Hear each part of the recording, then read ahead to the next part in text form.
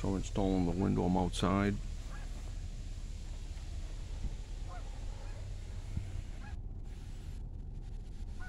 Window end up here. All this is to all be scraped and cleaned and removed.